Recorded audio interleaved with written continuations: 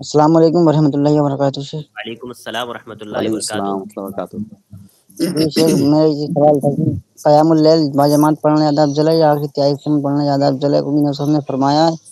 अल्लाह ताला आखिरी तिहाई हिस्से में हाँ। आसमान दुनिया पे आता है और फिर कहता है कि कोई है दुआ मांगने वाला मैं उसकी दुआ कबूल करूँ बख्शिश मांगने वाला उसे बख्श दूँ।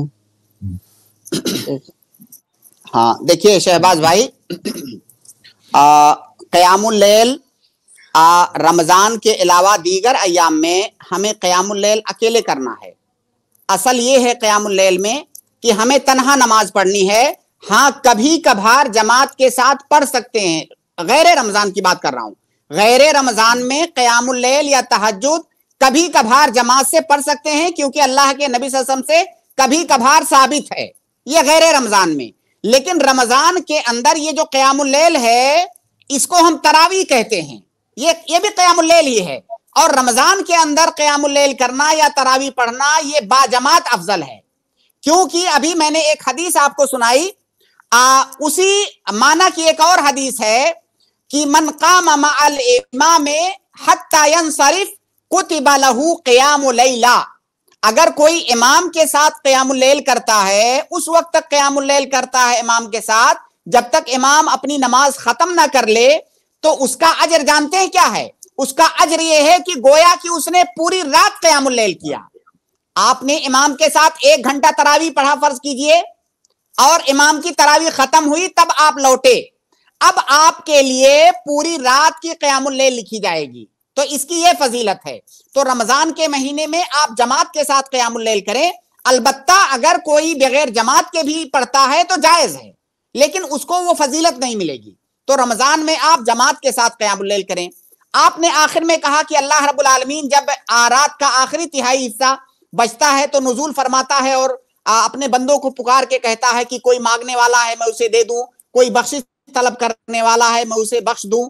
ये बिल्कुल सही है, ये हदीस के अंदर वारिद है। लेकिन इसका ये मतलब नहीं है कि अगर आपने कयामुल जमात के साथ कर लिया तो उस फजीलत को पाने का मौका चला गया आपका। नहीं, आपने इमाम के साथ कयामुल किया फिर जब रात का आखिरी तिहाई हिस्सा हो उस वक्त उठ करके आप नफिल नमाज़ पढ़ सकते हैं। उस वक्त उठ करके आप कुरान की तिलावत कर सकते हैं। उस वक्त उठ करके आप दुआ कर सकते हैं। तो वो मौका आपके पास मौजूद है। तो लिहाजा आप कयामुल लैल जमात के साथ पढ़ें और रात के तिहाई हिस्से में अगर आपको तोफीक मिलती है तो उस वक्त उठ करके आप नफिल मुतलक भी पढ़ सकते हैं। आप ऐसे दुआ भी कर सकते हैं। इस तरह आपको दोनों फजीलत मिल जाएगी।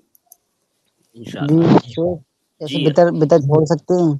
जैसे आपने कहा कि अभी जैसे कयामुल लैल करने के बाद इमाम के साथ बितर छोड़ने के बाद नहीं ये एक बड़ी गलती है जो लोग करते हैं। आपने बहुत अच्छा सवाल किया।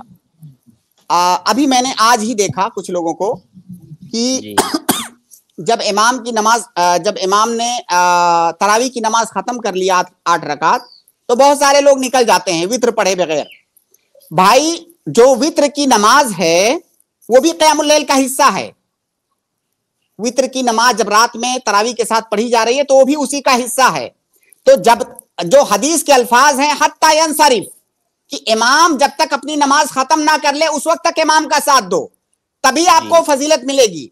तो आप जो है इमाम के साथ साथ पूरी नमाज़ पढ़ें तब आपको वो फजीलत मिलेगी। आप वित्र पढ़ लें इमाम के साथ आप वित्र पढ़ लें।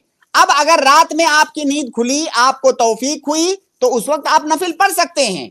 इसका यह मतलब नहीं है कि अगर आपने वित्र पढ़ लिया है तो अब दोबारा नफिल पढ़ना आपके लिए जायज़ नहीं है। ये अलग बात है कि कोई आदमी कयामुल लैल करना चाहता है रात में तो उसके लिए अफजल ये है कि वित्र को रोक करके रखे। लेकिन रमज़ान में चूँकि वो जमात से पढ़ रहा है कयामुल लैल और जमात के साथ वित्र की नमाज़ भी हो रही है तो वित्र की नमाज़ वो पढ़ ले और उसके आ, उसके सामने ये दरवाज़ा खुला हुआ है कि रात में नफली नमाज़ वो पढ़ सकता है।